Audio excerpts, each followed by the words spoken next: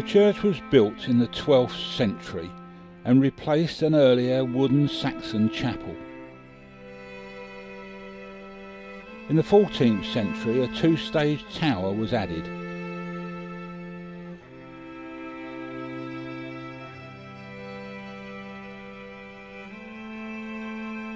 In 2000, a kitchen and bathroom were installed at the base of the tower without regard to ringing of the bells.